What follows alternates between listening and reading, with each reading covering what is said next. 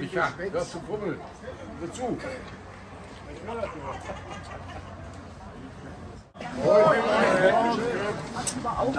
Wetter wird besser, Regen wird wärmer.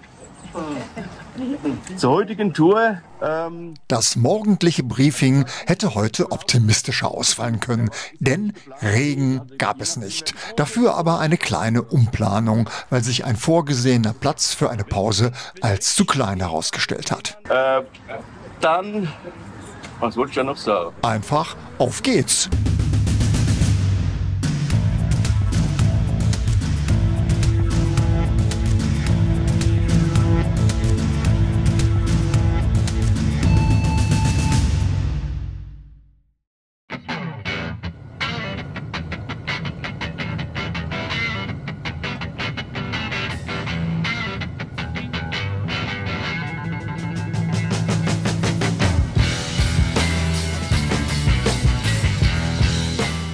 Es ist an der Zeit, ein paar Dolomiten-Klassiker unter die Reifen zu nehmen. Aber bevor ich euch die Tourenplanung des heutigen Tages vorstelle, ein Hinweis für die Neuen auf diesem Kanal. Wie kann man, ohne abzusperren, eine so große Truppe auf dem Kurs halten? Durch lebende Wegweiser.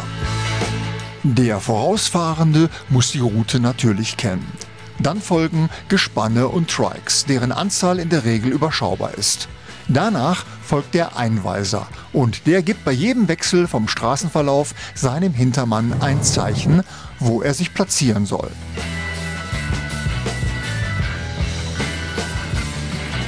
Und an der Stelle bleibt der stehen und spielt den lebenden Wegweiser. Da die Halteplätze meistens recht knapp bemessen sind, bleiben die Treiks und Gespanne außen vor. Der Wegweiser lässt nun die Kolonne an sich vorbeiziehen, bis das Schlussfahrzeug kommt.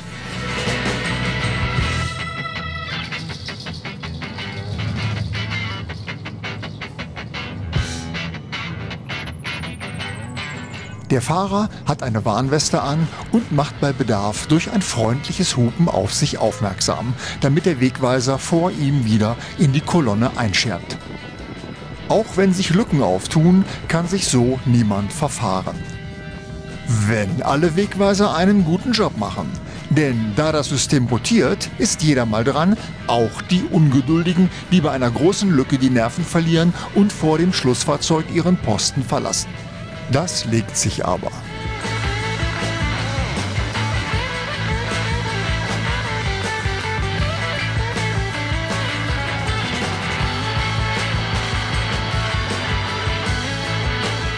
Die heutige Route führt uns ins Herz der Dolomiten.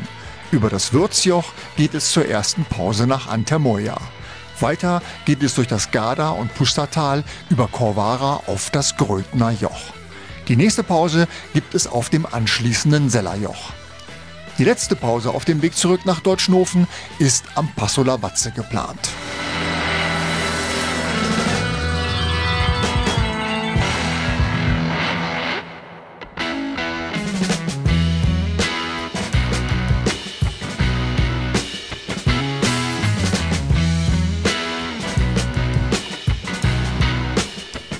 Die Infrastruktur ist in die Jahre gekommen, leider auch in den Bergen.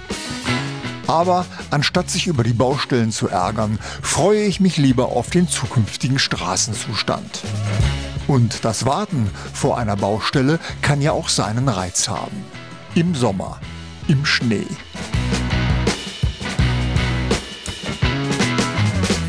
Bei der Abfahrt vom Würzjoch hinunter nach Antamoya kann man den Kaffeeduft schon fast riechen. Der kommt aus dem gleichnamigen Hotel und lädt zur Pause ein. Das Hotel Antamoya ist aber auch eine klare Empfehlung für Biker, die länger bleiben wollen. Denn es ist GWCD geprüft. Freundliche Betreuung und nach einer anstrengenden Pässe-Tour erholsamer Schlaf. Notfalls schon im Foyer. Uns zieht es aber wieder zu den Maschinen, denn die 200 Kilometer unserer Tagestour sind noch lange nicht abgespult.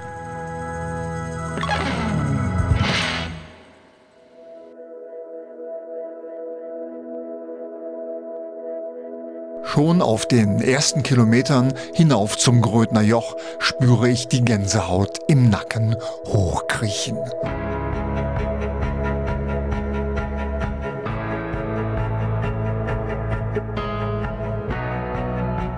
Und das hat mit diesem Anblick zu tun. Nicht, weil er die Vorfreude auf den kommenden Kurvenspaß in einem gewaltigen Bergpanorama verspricht, okay, das natürlich auch, sondern weil er Erinnerungen weckt. An eine Zeit in jungen Jahren, also bis Mitte 50, in der ich diese imposante Naturkulisse aus nächster Nähe erleben durfte.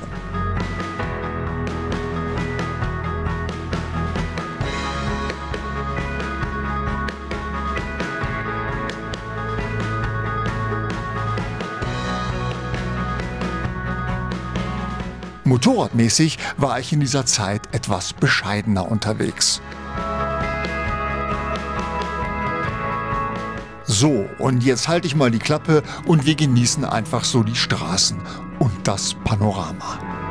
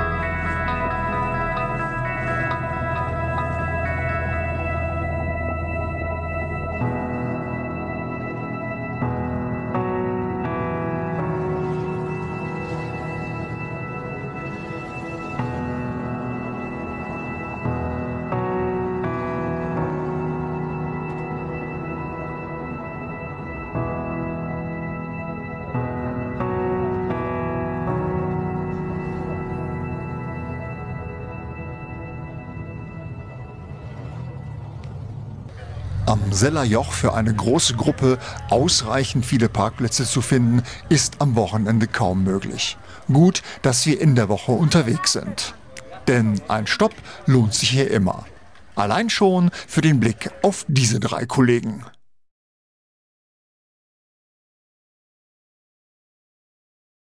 Das weiß auch die Gastronomie und zeigt sich beim Wechselgeld eher, sagen wir, zurückhaltend.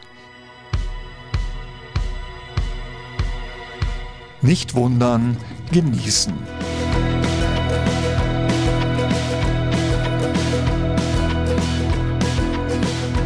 Und das könnt ihr auch bei den nachfolgenden Bildern. Für euch ist das völlig kostenlos. Genauso wie zwei kleine Mausklicks.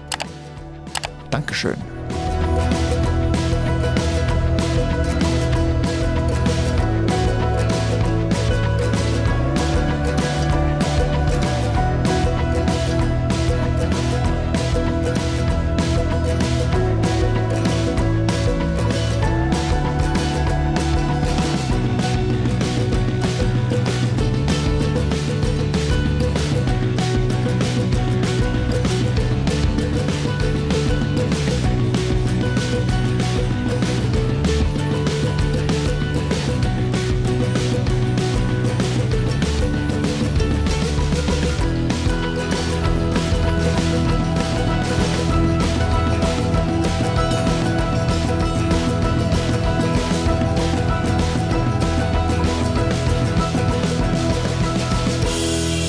Wir befinden uns in den Fleimstaler Alpen auf dem Passo di Lavazze.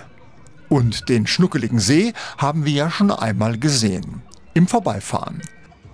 Dabei erschließt sich einem diese Idylle allerdings nicht.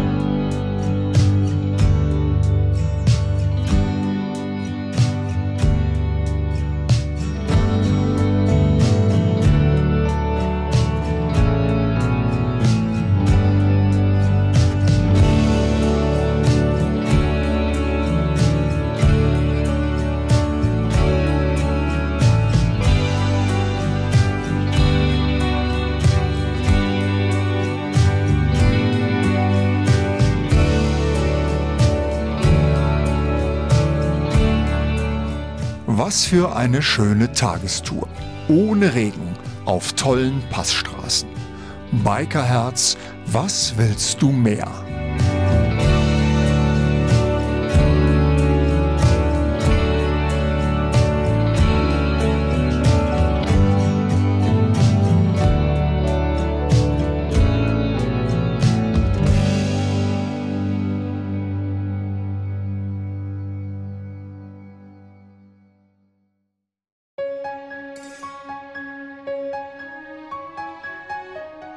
Eine gemeinsame Ausfahrt ist heute nicht geplant.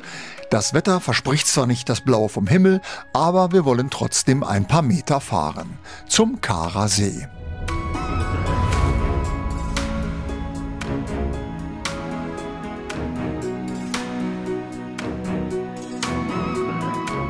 Vom Parkplatz führt ein Tunnel aus Beton und Felsen an das Naturdenkmal.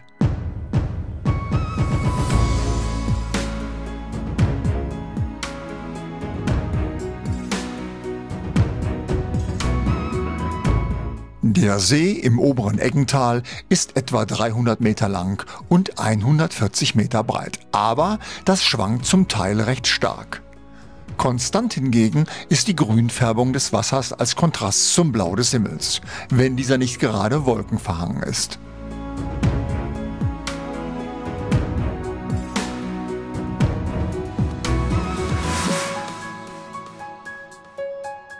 Etwas verwunschen sieht es ja schon aus. Kein Wunder, dass sich viele Südtiroler sagen um den See ranken.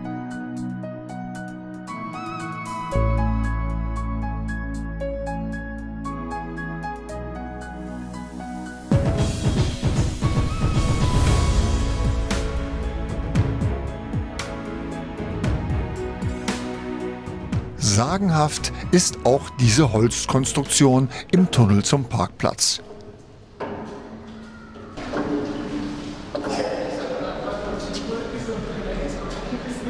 Klangkunst. Jetzt spiel doch mal ein Liedchen.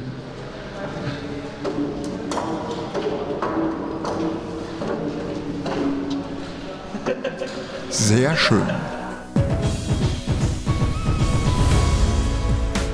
Das Wetter war uns gewogen und so beschlossen wir, unsere Runde fortzusetzen. Vom Karasee sollte es weiter über Senseniga Argodino zum Passo Valles gehen. Von dort vorbei am Lago di Paneveggio zum Passo Lavazze und zurück zum Hotel.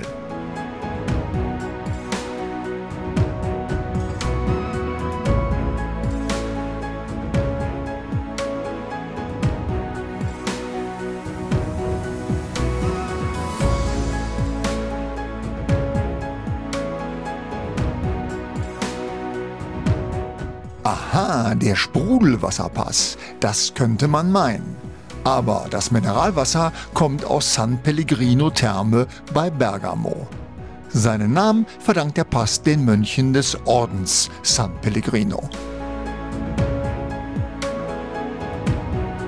In Agordino sind wir eher zufällig gelandet, auf einen Café. Und beim anschließenden Schlendern mit einem Eis in der Hand sind wir auf dieses Denkmal für Auswanderer gestoßen. Die waren offensichtlich keine Sprüche, sondern Steineklopfer.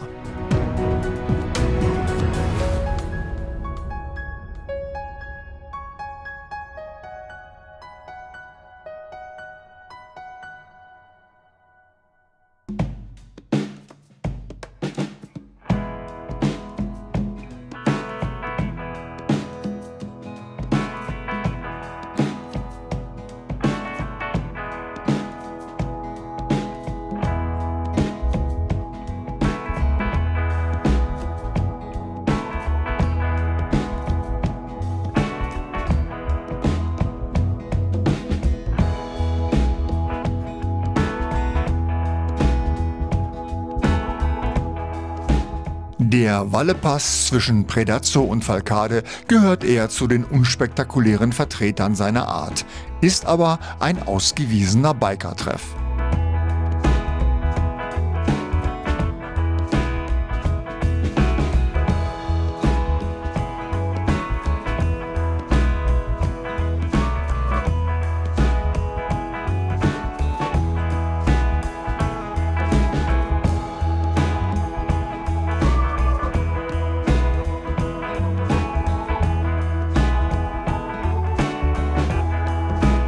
Es gibt eine Möglichkeit zum Einkehren, eine Kapelle im Blockhausstil, reichlich Gegend und eine Wetterstation. Kann man mal gesehen haben, muss man aber nicht.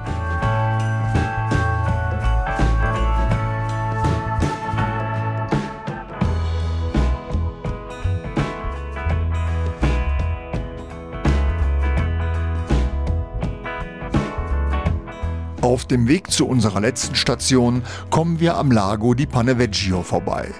Der liegt leider gerade im Schatten einer Baustelle.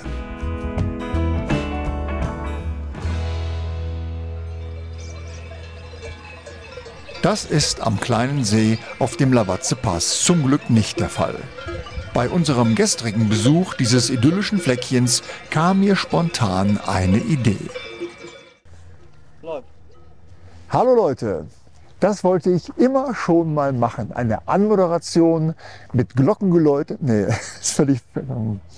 Das zugehörige Video, natürlich ohne Versprecher, ist zwischenzeitlich schon auf YouTube gelandet.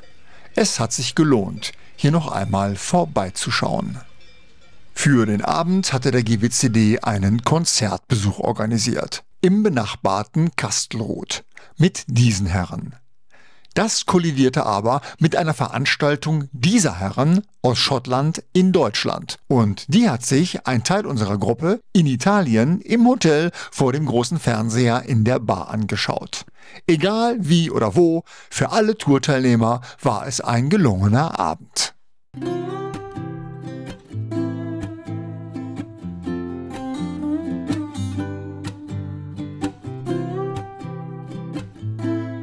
Der Tag beginnt wieder bei gutem Wetter und mit einem Blick auf den Karasee. Den haben wir euch ja schon vorgestellt. Am See vorbei geht die heutige Tour in Richtung Marmolata zum Lago di Fedaia. Über den Falzarego-Pass auf den Passo Giao und auf südlicher Route zurück zum Hotel mit einem Abstecher zur Malga Forma-Alm mit 220 Kilometern die längste unserer Exkursion in den Dolomiten.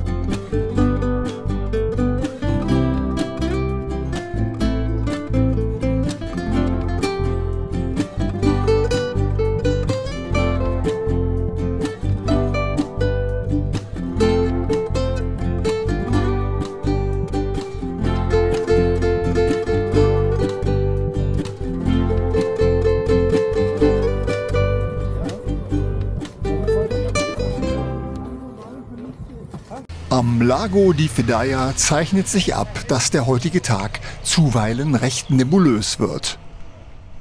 Und das verwehrt uns leider den Blick auf den Nordhang der Marmolata. Und egal in welcher Himmelsrichtung der Blick nach oben geht, die Berge sind verhüllt.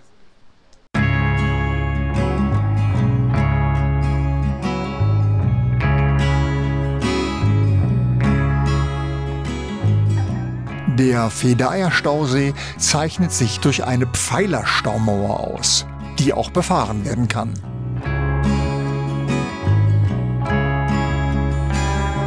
Mit 1,6 Kilometern Länge fasst der See über 16 Millionen Kubikmeter Wasser. Gut für ein 20 Megawatt Kraftwerk.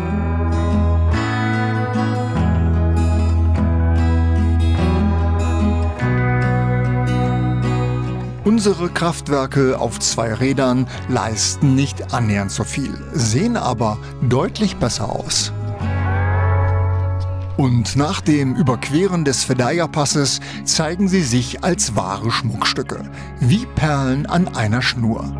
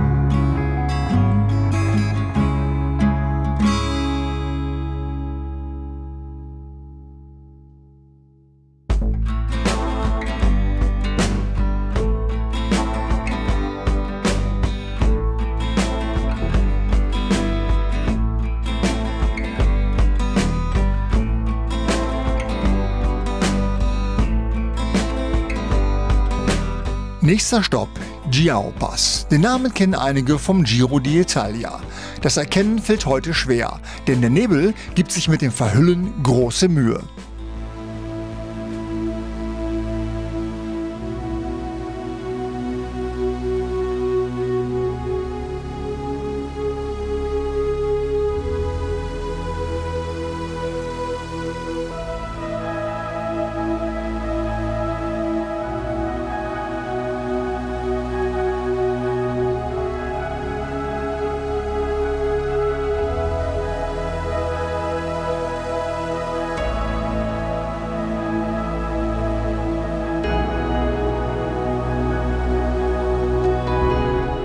Die Holzschnitzereien an der Hütte wirken durch den Nebel fast schon ein bisschen gruselig.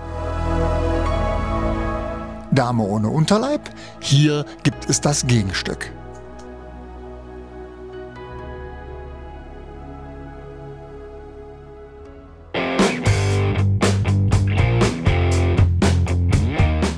Bei der Abfahrt über den Passo Giao wurden wir fotografiert. Nein, nicht behördlich, sondern von einem Profifotografen. Der hat natürlich eine Homepage, auf der man sich über Ort, Datum und Zeit finden kann. Gegen Entgelt bekommt man einen Link für den Download. Und das Foto kann sich sehen lassen, wobei das natürlich auch vom Motorrad abhängt.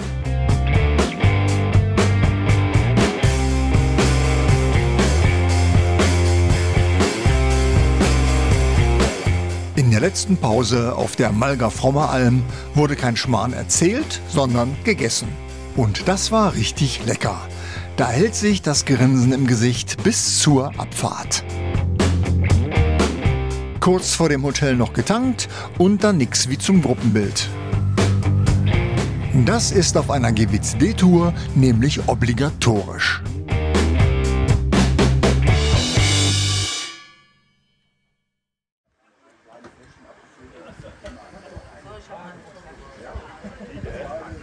Bevor es an diesem Tag ohne Motorräder auf Tour ging, hatte es sich der Vorstand des GWCD nicht nehmen lassen, Dankesworte an das Team des Hotels zu richten. Ja, ich möchte einfach nochmal im Namen aller Danke sagen.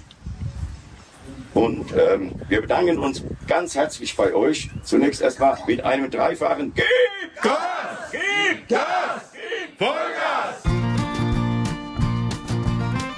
Ein paar kleine Präsente hatte der Club auch noch im Ärmel. Zuerst ging es mit dem Bus nach Obereggen und von dort mit dem Sessellift hinauf zur Berghütte Oberholz.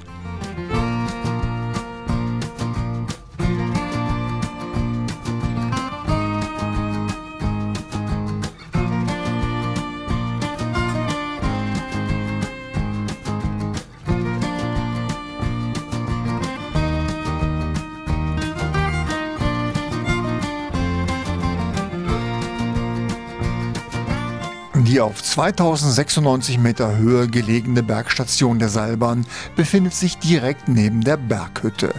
Und die zwingt einen erst einmal zum Umdenken. Hier trifft man auf moderne Architektur kombiniert mit moderner Technik. Wie ein liegender Baum wächst die Hütte aus dem Berg und teilt sich in drei Verästelungen mit großen Schaufenstern, die auf verschiedene Berggruppen ausgerichtet sind. Jedes Schaufenster gehört zu einem eigenen Bereich, der zum angrenzenden Gastraum hin offen ist. Beheizt wird die gesamte Hütte ausschließlich mit Erdwärme. Und wer jetzt sagt, was interessiert mich die Architektur, das Essen muss schmecken, kann unbesorgt sein. Das tut es.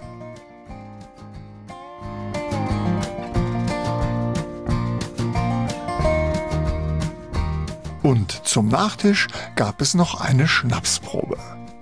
Mit sehr speziellen Sorten. Zum Beispiel Heuschnaps. Der hilft bei der Verdauung. Oder man macht einen kleinen Spaziergang den Berg hinauf und bekommt dort auch noch etwas fürs Auge.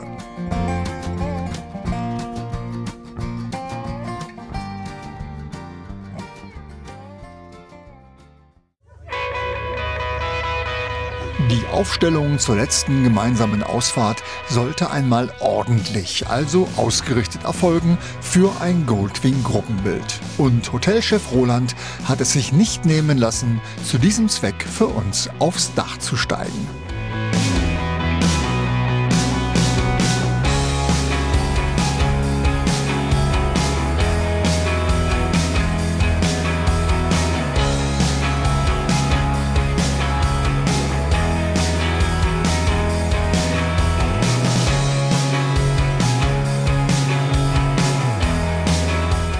Auf der letzten Tour wollen wir die Sellerrunde schließen. Dazu geht es erst einmal über Kastelruth zum Hotel Pinay am Panida Sattel. Frisch gestärkt wird dann das Krötner Joch überquert. Über den Passo Cambolongo geht es auf das Pordoy-Joch. Conny und ich haben dann noch einen extra Abstecher zum Fedaya-See unternommen.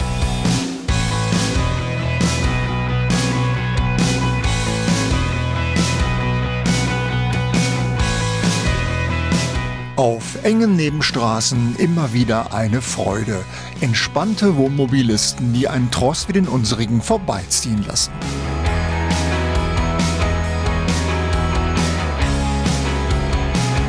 Etwas über 200 Kilometer liegen heute vor uns. Bei diesem Wetter, vor dieser Kulisse, kein Kilometer zu viel.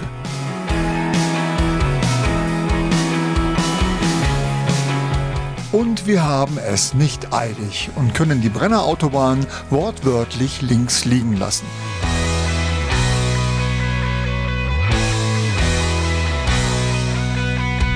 Wussten Sie es schon? In Kastelruth pfeifen die Spatzen nicht von den Dächern, sondern von der Bühne. GWCD geprüft.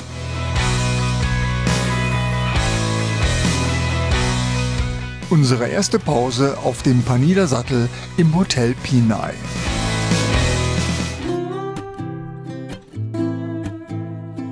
Sieht ganz so aus, als könnte man es hier gut aushalten.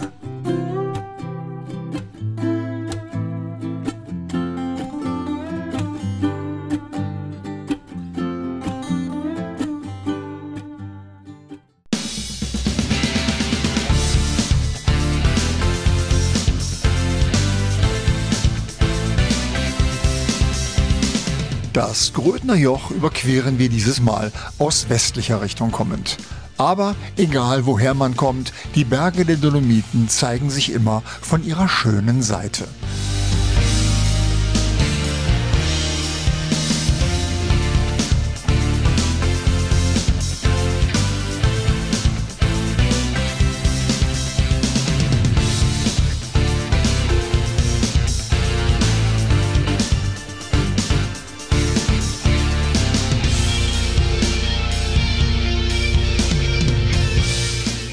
Grödner und das Sellerjoch haben wir ja schon befahren und damit einen Teil der Sellerrunde. Zu der gehören noch der Passo Cambolongo und der Pordoy Pass. Zusammen umschließen sie nahtlos die Sellergruppe mit dem Piz Bue.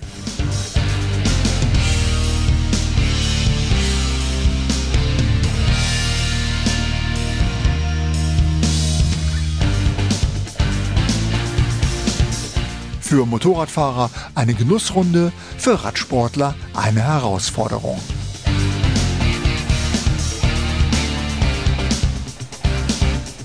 Der Passo di Pordoy ist mit 2239 Metern der höchste asphaltierte Passübergang in den Dolomiten.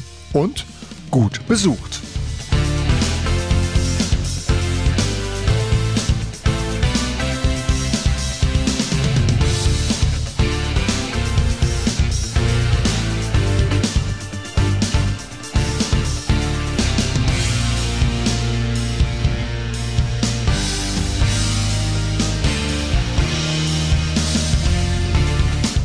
Wir verkürzen unseren Pausenaufenthalt und machen uns auf den Weg für einen Abstecher zum Fedaya Stausee. Denn es gilt noch ein Versprechen einzulösen. Und das konnten wir heute tun. Der Nebel war fort und wir standen der Marmolata quasi von Angesicht zu Angesicht gegenüber und konnten nun die Grüße ausrichten. Und sie hat zurückgegrüßt in Richtung Mettmann. Zum Abschluss haben wir noch ein kleines Ründchen auf der Staumauer gedreht.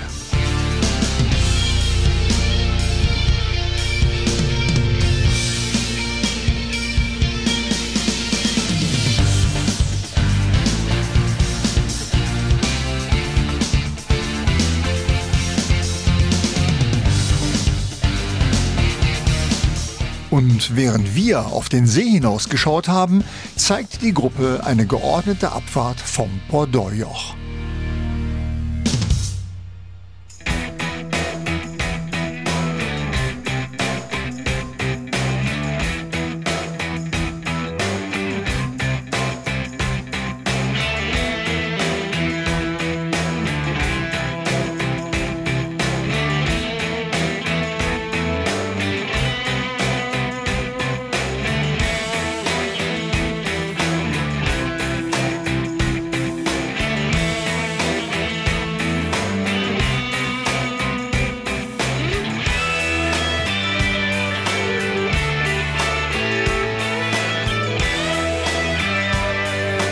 Am Hotel trafen wir uns dann wieder.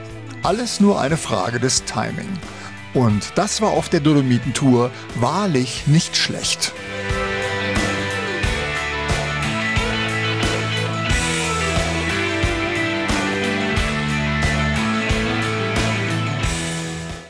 Ja, ihr Lieben, jetzt ist es rum. Die Dolomitentour fast rum. Ich möchte einfach mal im Namen von uns allen, äh, ja, möchten wir euch einfach mal bei euch bedanken. Es war eine ganz tolle Truppe. Ähm, wir wussten in diesem Jahr gar nicht so richtig, wie wir das mit den Touren, wie das funktioniert beim Fahren, weil doch ganz viele neue Mitglieder dabei sind, die wir zum einen persönlich noch gar nicht kannten, äh, aber die einen sauguten Eindruck hinterlassen haben hier. Und ähm, ich hoffe, dass es den neuen Mitgliedern, die jetzt das erste Mal hier dabei waren, dass es denen auch einigermaßen oder gut gefallen hat. Natürlich würde es mich freuen, wenn es euch sehr gut gefallen hat. Ja, könnt ihr uns das gerne mitteilen. Freuen wir uns drauf. Wir hatten keine Unfälle. Wir hatten eine kaputte Lichtmaschine. Das Moped konnte man reparieren vom Christian. Wo ist er? Hier. Ja, ist er. Urlaub konnte weitergehen. Wunderbar. Wir machen ja immer viele Fotos. Ja, ihr, wir, jeder. Und äh, bei den Touren gibt es auch, sofern Jutta dabei ist, äh, auch ein schönes, wunderbares Fotobuch. Dazu benötigen wir natürlich auch Bilder. Aber nicht, dass jetzt jeder seine 5000 Bilder an die Jutta schickt. Ja, dann ist die ja äh, ein halbes Jahr weg. Äh, Also, wenn ihr, wenn ihr tolle Bilder habt, sucht sie bitte aus und, und schickt sie an die Jutta. Aber bitte keine 200 oder 500 oder 50. Sucht wirklich nur die tollen Bilder aus. Und dann wünschen wir euch morgen entweder eine gute Heimfahrt oder auch noch irgendwo Urlaub, eine, eine schöne Endreise und natürlich schönes Wetter. Das haben wir jetzt am Ende dann doch bestellt. Ähm, vorher war das nicht möglich, bin da nicht durchgekommen. Ja, also bleibt uns nur noch zu sagen, vielen herzlichen Dank, dass ihr teilgenommen habt. Und äh, Für die Organisation. danke.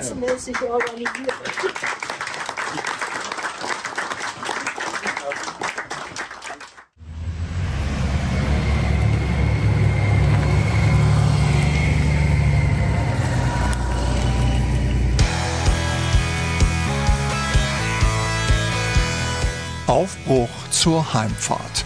Zusammen mit Maria und Hubert. Denn mit ihnen hatten wir zwei Dinge gemeinsam. Gleiche Richtung und keine Eile.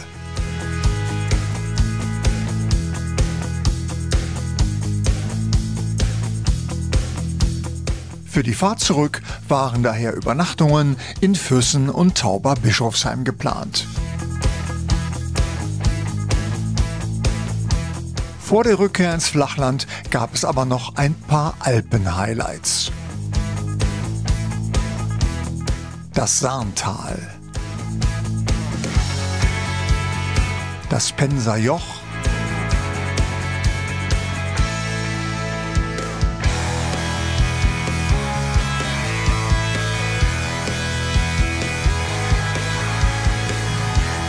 Den Jaufenpass.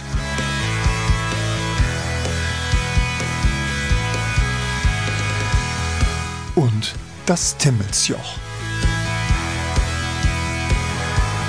Und dort gab es Spaß im Schnee.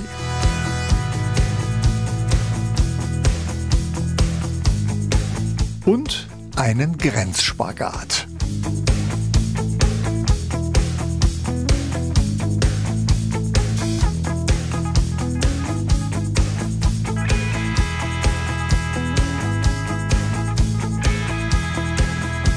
Am nächsten Tag mussten wir die Alpen hinter uns lassen.